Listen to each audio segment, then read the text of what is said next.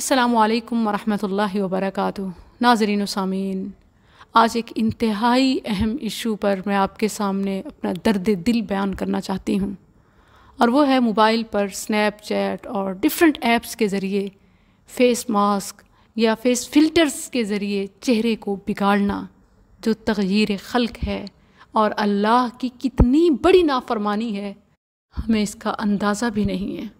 اللہ تعالیٰ نے سورہ التین میں انسانی تخلیق کا ذکر کرتے ہوئے فرمایا، لقد خلقنا الانسان فی احسن تقویم۔ ہم نے انسان کو بہترین شکل و صورت میں بنایا۔ پھر اگلی آیت میں فرمایا، ثم رددناه اسفل سافلین۔ ہم نے اسے اس کے اعمال کی بدولت اسفل سافلین، گھٹیا ترین کر دیا۔ کرنٹ ایرا میں اگر ہم اس کی پریکٹیکل پکچر دیکھیں تو سنیپ چیٹ اور ڈفرینٹ ایپس پر فیس فلٹر یا چہرے پر ماسک لگا کر تصاویر اور ویڈیوز بنائی اور پھر اپلوڈ کی جاتی ہیں۔ وہی احسن تقویم کو اسفل سافلین کر دیتے ہیں۔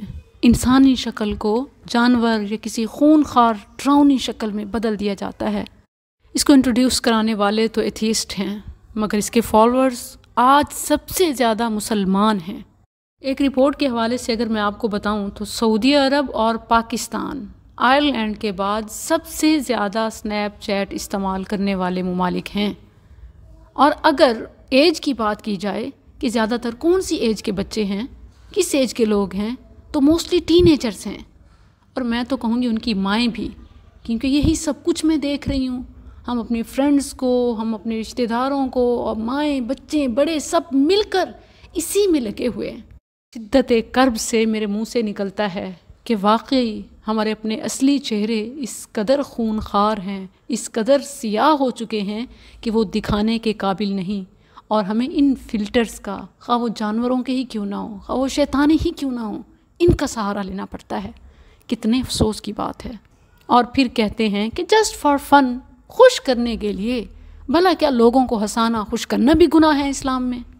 سعودی افطار کمیٹی نے تو باقاعدہ فتویٰ جاری کیا ہے کہ اس کا استعمال گناہ ہے۔ مگر یہ بات ہمیں اپنے بچوں کو اور خود کو سمجھانے کی ضرورت ہے۔ یہ سراسر شیطانی کھیل ہے۔ اس کا استعمال کرنے والے عباد الرحمن کی صف سے خارج ہو جاتے ہیں۔ اور یہ اتنی بڑی بات میں نے ایسے ہی نہیں کہہ دی کہ آپ کہیں کہ just for fun, just for entertainment لوگوں کو ہنسانے کے لیے یہ کہاں منع ہے۔ میں آپ کو قرآن سے بتاتی ہوں۔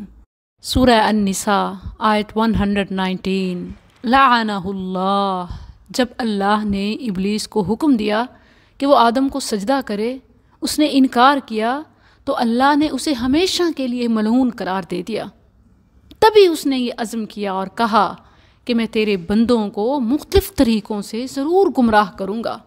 اس وقت جو خود اس نے طریقے بتائے، اس کے اپنے الفاظ جو اللہ نے قرآن میں نقل کیے تاکہ میرے بندے خبردار رہیں، مگر ہم انہی سے غافل ہیں۔ ابلیس نے کہا، ولا اضلنہم ولا امنینہم ولا آمرنہم فلا یبتکن آذان الانعام ولا آمرنہم فلا یغیرن خلق اللہ میں انہیں راہ راست سے بھٹکا کر رہوں گا اور انہیں خوب آرزویں دلاؤں گا۔ جیسے کوئی بات نہیں، لوگوں کو ہنسانا ہے، یہ کہاں منع ہے؟ فالا یو بتی کن آدان الانعام وہ جانوروں کے کان چیر ڈالیں گے۔ والا آ مرن فلا یغیرن خلق اللہ انہیں حکم دوں گا کہ وہ اللہ کی تخلیق میں تبدیلی کریں۔ علماء امت کا اس بات پر اتفاق ہے۔ کہ سوائے بیماری یا انتہائی مجبوری کے خاص چہرے کو بدلنا تغیر خلق ہے اور اللہ کا قانون ہے۔ لا تبدیل لخلق اللہ، ذالک الدین القیم۔ یہ دین کا واضح کلیئر اصول ہے۔ مگر ہمیں اسی کے حوالے سے شک ہے اور ہم فتوے ڈھونڈ رہے ہوتے ہیں۔ ہم مانتے نہیں، مگر صفائیاں ضرور دے رہے ہوتے ہیں۔ اللہ کے لیے خود کو اور اپنے مسلمان بہن بھائیوں کو اس موزی مرض سے بچائیے کہ یہ شیطان کا بڑا ہتھیار ہے اور یہ عباد الرحمن کی صف سے خارج ہونا ہے۔